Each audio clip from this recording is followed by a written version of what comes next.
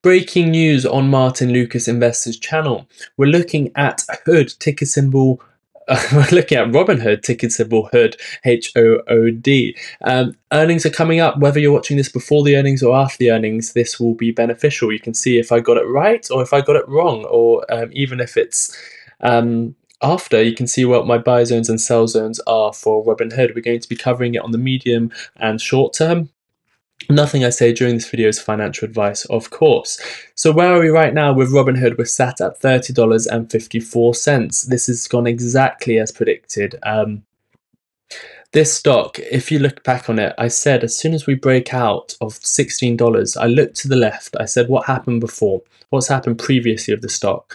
Well, it broke $33 and in a matter of like five weeks, it crashed very, very quickly. It didn't spend any time between $33 and $16. It came down very quickly.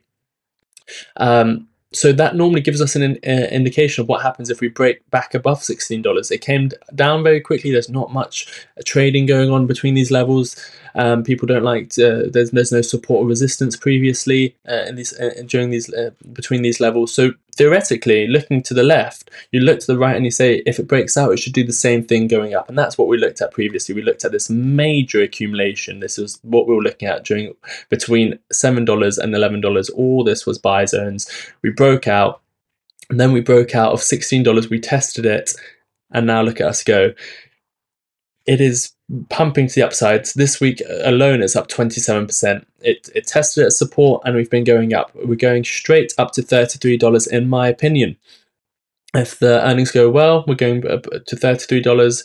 Um, if, it if it doesn't go well, I think this $33 level um, will still be in, in, the, in the short, medium term. I think we'll still head up to $33. We might just test it as resistance um, and then come back down if the earnings have um, were really bad.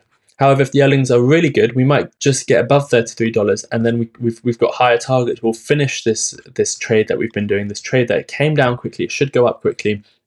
Earnings are good. We will blast past $33. At least that's our first target. That's been our target of this trade. We've been trading this from $8 and our target is um, $33, at least our first target, and that's a 300% move in less than a year. So that's a great move. That's why I'm still expecting it to go $33 and then it'll be interesting to see what happens next. It's going to be volatile during the earnings. It might be volatile to the upside. It might be volatile to the downside. If it's volatile to the downside, you might see some levels of entry at $23. That might hold at support, and then you're ultimately going to come back and get up to this $33 level, in my opinion. That's the worst case. Um, I mean, worst case it's a horrific earnings, and then $16 is your buy zone again. However, if it's just a bad earnings, I think you might see a buy zone of $23 and then slowly make your way back up to the $33, completing the trade. If it's a good earnings, um, you at least get up to $33 and then you, you'll see how you react there. Will you come back down? You might do, but if it's a really good earnings, um, then you're you're going to blast past $33. There might be a few weeks of really irregular trading.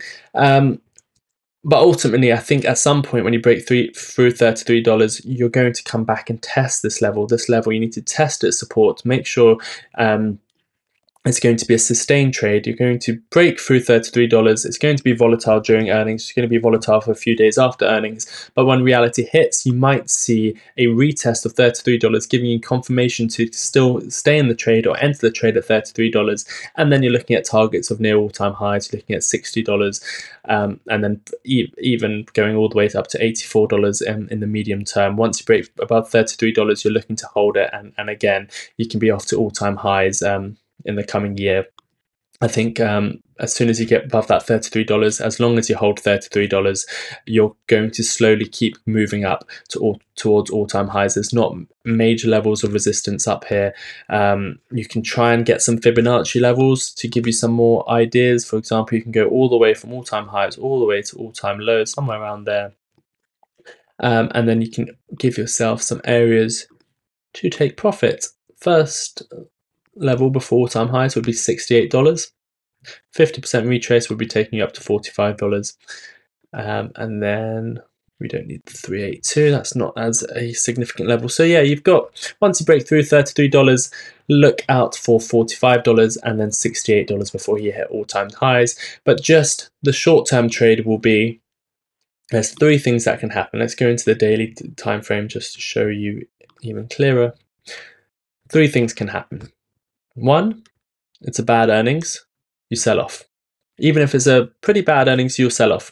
If it's a horrific earnings, $16. I'll always have some limit orders set up in case it's a really, really bad earnings. $16. Very, very unlikely. I don't think that's going to happen.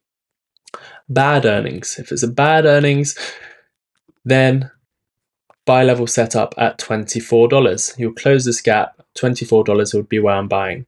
If it's a good earnings, or if it's a mediocre earnings, then you'll probably see this trade complete. You'll probably see us head back to $33. And what happens there is what's going to be interesting. You might that's our first target of our trade. So a lot of people might be taking profits at that level.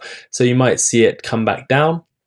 If it's just a good earnings, if it's not an amazing earnings, then at $33, I'll definitely take some profits there.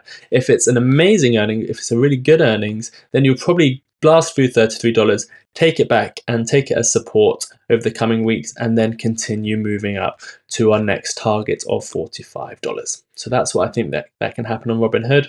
Um, good luck trading it. Good luck owning it. Remember, nothing I said is financial advice. Um, I hope you win on your trades. Until next time, take care of yourselves and each other.